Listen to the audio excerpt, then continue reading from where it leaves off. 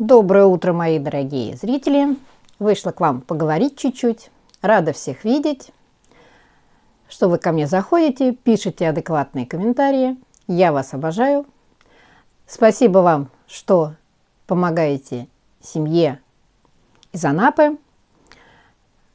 Алексей написал благодарность всем вам, кто неравнодушен к этой теме. Семья Хитровых, я имею в виду. Поэтому я передаю вам всем большое спасибо. Так, о чем я хотела поговорить? Ну, конечно же, о Быковой. Что о ней говорить? Вчера вышла в стрим. Угу. И мне хочется сказать, о боже, случилось чудо. Сама спокойствие, сама прям вот благодать Господня. Ну, такая выдержанная, такая спокойная, такая уравновешенная – ну, наверное, что-то было с Саньком. Женщина успокоилась. Мы, конечно, не будем гадать, но надеемся, что у них все получилось хорошо. Да, поэтому Оля успокоилась. Или из-за того, что сходила в церковь наконец. Вот одно из двух. Или с мужиком переспала, или в церковь сходила. Ну, прям сама даже, вы понимаете, она вчера стрим вела, даже как бы особо оскорблений не было. Да, были там всякие негативы, но довольно-таки благочестивые. Вы знаете, я так посмотрела в перемотке в быстрой, э, я не нашла такого, что как вот было накануне, вот эта надменность, наглость, хамство. Ну, конечно, она задела то, что вчера Маша выпустила ролик, да. Старушку они там забанились, ее там видео убрали. Старушка, бабу, старушка путешественница, что ли, как так называется канал, не знаю. Вот, она об этом, конечно, сказала. Весь стрим Оля Быкова играла в психолога, в учителя, в наставника. В чем это заключалось? Все на фриланс как Ширин говорил, все в, в, это, сад, в сад, а у этой все на фриланс. Ничего вы не понимаете. Так, здрасте. Лошади тут скачут.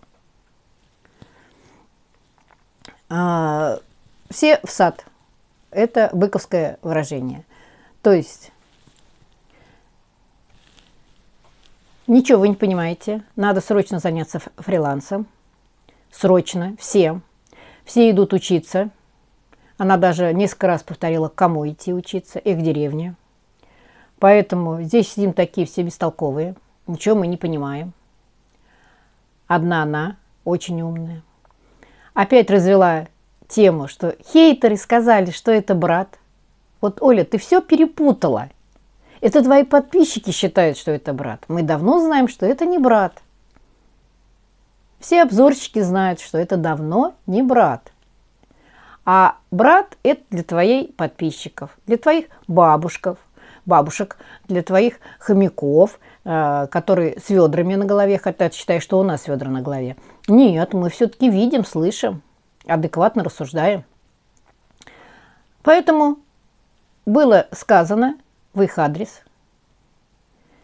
И я представляю, как все бабульки подорвались и пошли учиться фрилансу. Я-то не пойду учиться фрилансу. Даже если закроют YouTube, у меня есть работа, у меня есть пенсия, мне это не надо. Я сколько раз говорила, что все-таки YouTube для меня это больше хобби, развлечение. Да. Ну, не будет этого, найдем другое хобби. Начнем опять вязать. В чем проблема? А, поэтому насыщенный был. Ну, были у нее там перлы. Я сейчас уже не буду вспоминать, что она там говорила.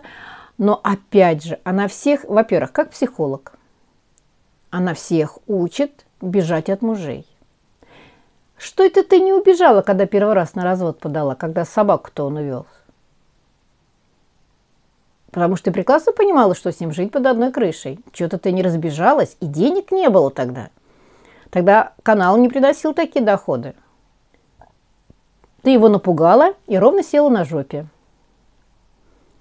забрала заявление, а теперь ты это преподносишь, что ты его пожалела. Да не пожалела ты, ты просто испугалась.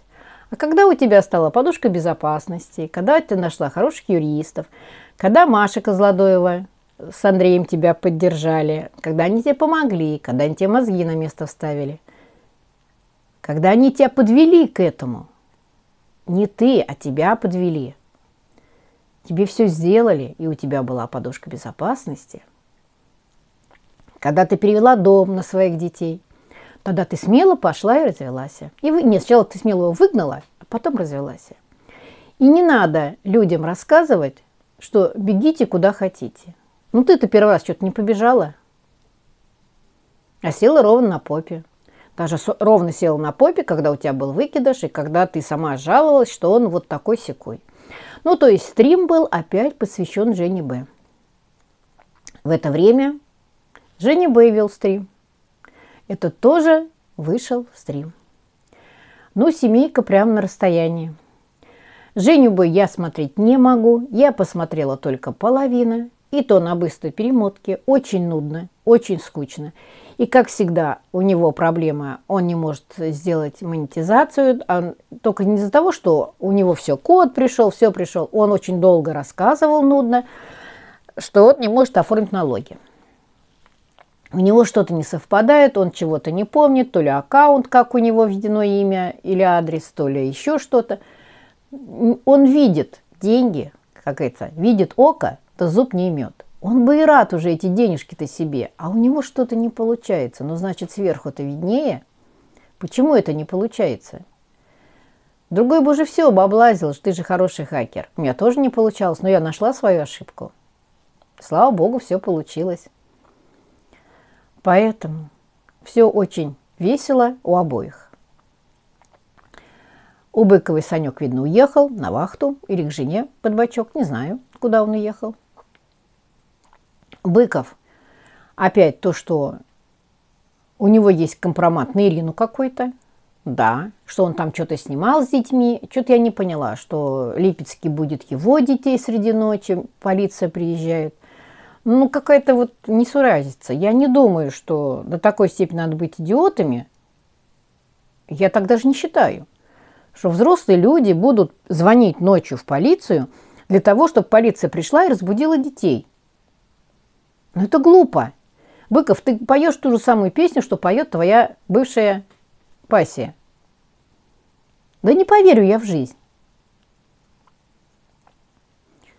И так я поняла, что детей он Ирине пока спокойно отдавать не хочет. Нет, не хочет. Поэтому будет все по-другому. Ну и наша Сосисовна.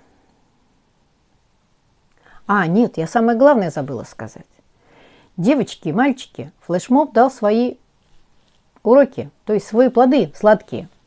У Быковой по списку Ютуба она была в группе Б+, а теперь она сползла ну, просто Б.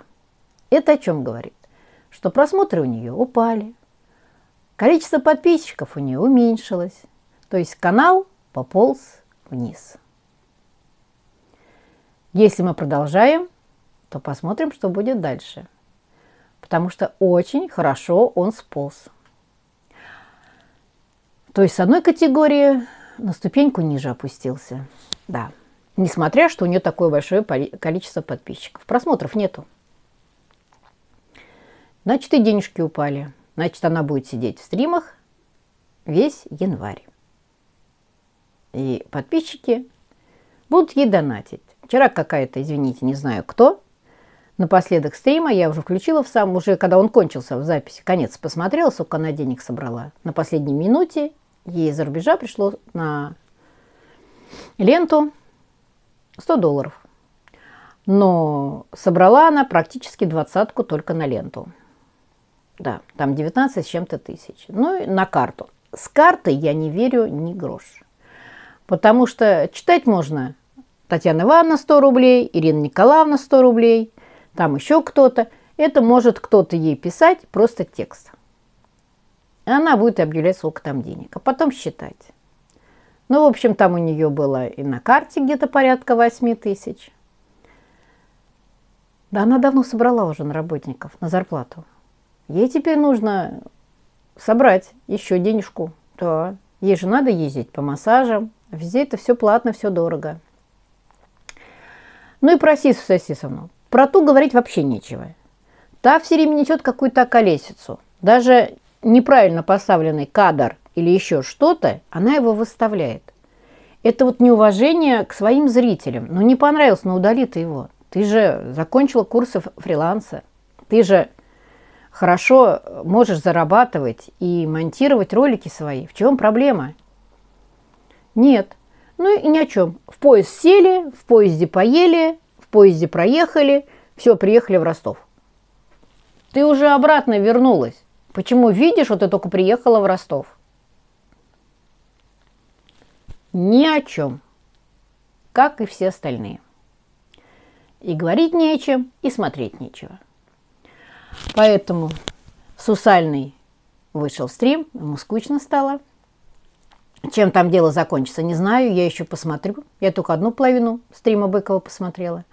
Ну, а наша барыня тоже вышла. Очень деньги нужны. И, видно, политику поменяла. Машка сказала, видно, что меняй политику, хватит хабалистой, давай будешь мягкой и пушистой. Все, мои дорогие, на этом все. Прощаюсь на сегодня. Будет желание, вечером выйду в стрим. Не знаю еще, как все ляжет. Всем сердечко.